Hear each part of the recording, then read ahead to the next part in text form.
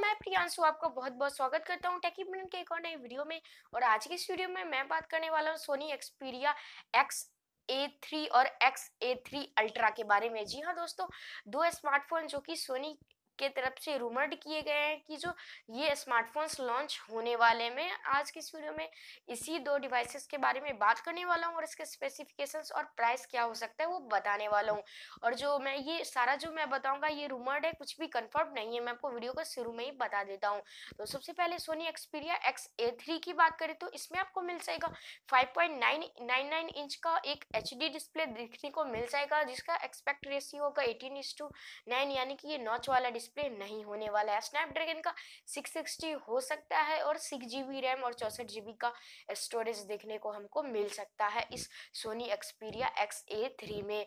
और इसमें Android nine पाई तो मिलेगा ही आपको आउट ऑफ़ द बॉक्स और इसमें आपको डुअल कैमरा देखने को मिल जाएगा रेयर में और फ्रंट में आपको एक कैमरा देखने को मिल जाएगा।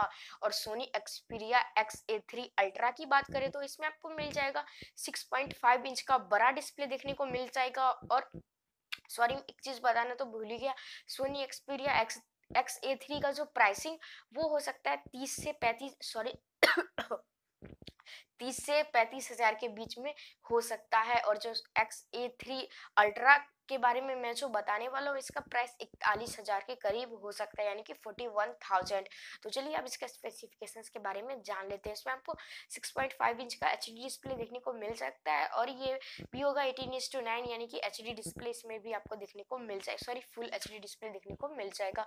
स्नैपड्रैगन का आपको इसमें एट फोर्टी फाइव या फिर कुछ और देखने को मिल सकता है और इसमें आपको एट जी बी का रैम और वन ट्वेंटी एट जी का स्टोरेज देखने को मिल जाएगा, डुअल कैमरा मिलेगा और फ्रंट में भी एक कैमरा देखने को मिल जाएगा और इसमें आपको Android nine pie out of the box देखने को मिलेगा। मुझे नहीं लगता ये दोनों स्मार्टफ़ोन कुछ खास कर पाएँगे तो आप इन दोनों का स्मार्टफ़ोन के बारे में अगर खरीदने के बारे में सोच रहे हैं तो आप दो कदम दूर ही रखिए। सॉरी, दो किलोमीटर बिकॉज़ ये फ़ोन बिल्कुल भी लेने लायक नहीं है, एकदम घटिया से घटिया फ़ोन है।